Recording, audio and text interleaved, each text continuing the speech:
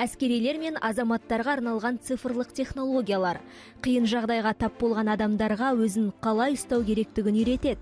Виртуалды өртке қатысу арқылы шынайы өмірде болатын өрттен аман есен құтылудың жолдарын үйренуге бола ма? Төтенше жағдайдың виртуалды көшірмесін жасау үшін не қажет? Толығырақ цифрлық қазақстан бағдарламасының бүгінгі санында.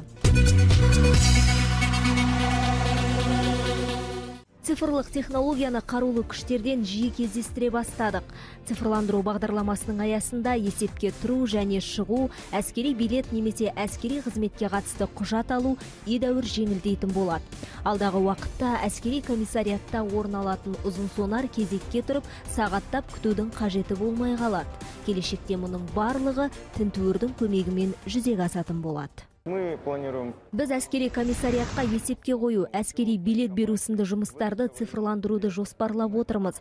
Қазірдің өзінде соғыс ардагерлеріне басқа да әскери қызметкерлерге анықтама беру сияқты мемлекеттік қызметтерді үйден шықпай ақ халыққа қызмет көрсету орталығы арқылы алуға болады. Биылғы жылы тағы бірнеше мемлекеттік қызметтерді автоматтандырамыз. Демек мұның барлығы болашақтың еншісінде. Әзірге армия цифрланып жатыр. Әскери мамандарға шынайы өмірмен сәйкес келетін цифрлық жаттығу қондырғысы көмекке келеді. Олар арқылы әскерлерді қашықтан басқаруға және дұрыс тактикалық шешімдерді жылдам қабылдауға болады. Мысалы цифрлық полигонды алайық. Бейнебақылау мен датчиктер әскери оқулар өтетін жерлерге. Әрбір техника мен әр сарбазға орнатылады. Она может использоваться. Оны қазақстан аумағында ғана емес кез келген полигонда қолдану қолдануға болады. Өзге мемлекеттерден келген мамандар ол жақта мұндай жүйенің мүлдем жоқтығын айтады. Демек мұны бірегей жоба бірегей технология деуге болады. Ол тек әскерилер үшін ғана тиімді емес. Оқу орталығы бар барлық күштік құрылымдарда бұл броньды техникамен байланысты. Жалпы алғанда кез келген күштік құрылымда мұндай жүйе нысананы жоюға дайындық барысында қолданылады. Яғни бұл типтік сызбаны кез келген құрылымда барлық полигонда қолданудың маңызы зор. Әскери салаға арналған цифрлық шешімдерді мәселен төтенше жағдайлардың зардаптарын жою жұмыстарында пайдалануға болады. Бұл шынайы өмірмен сәйкес келетін ситуациялық жаттығу қондырғысы оның көмегімен кез келген төтенше жағдайды ұйымдастыруға болады. С помощью виртуальной реальности виртуалды шындықты модельдеу кезінде адам түрлі жайтпен бетпе бет келуі мүмкін айталық өрт. Бірақ шынайы өмірде сіз қауіпсіз жердесіз. Егер адам өртті көріп естіп арнайы киім арқылы сезінетін болса оның миы бұл жағдайдың өз басында өтіп жатқандығы туралы ақпарат береді. Виртуалды жаттығу құрылғысы шынайылыққа жақын нақты жағдайды туғызады.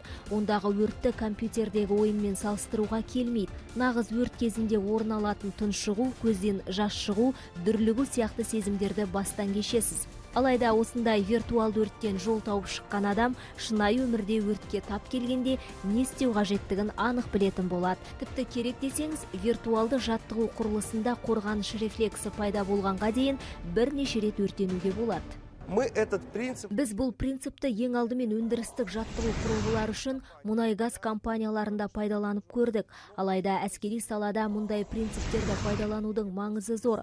Адам қалыпты күйінде қалу үшін алдын ала жоспарланған сценарийден өтеді. Бұл бүкіл топтың жұмысы. Тактика бойынша бағыттарды сынау немесе әскери жағдай болуы мүмкін. Көзілеспейтін жылдамдықпен қарсыласыңмен орын ауыстырып жағдайға оның көзімен қарауға да мүмкіндік бар. Яғни мұндай жаттығу құрылғылары барлығын істеп көруге мүмкіндік береді. Бұл жерде сіздің ойлау қиялдау қабілетіңізге ешқандай шек қойылмайды. Адамды орманға тауға немесе теңізге апарып тастауға болады. Жаттығу қондырғысы қауіпсіздік техникасын оқып үйренуге де көмектеседі. В костюме бұл киімде бұлшық етке аз ғана тоқ қуатын беретін электродтар орнатылған. Олар виртуалды шындықпен байланыстырылады. Бұл дегеніміз не? Егер виртуалды әлемде сіз жалаңаш электр сымын көріп тұрсаңыз оны қалай ұстар едіңіз? Сіз оған қолыңызды тигізсеңіз тоқ мына жеріңізге соғады. Қолыңызды тартып аласыз сіз аман есенсіз. Ал егер тұтас ұстай алсаңыз онда сізді түгелімен тоқ соғады. Осыдан кейін сіз жалаңаш электр сымын қалай ұстау керек екенін мәңгі есіңізде ұстайтын боласыз.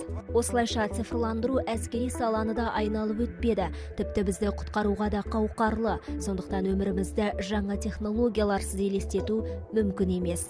Ал сіздер әдеттегідей барлық жаңашылдықтар туралы цифрлық қазақстан бағдарламасынан біле аласыздар.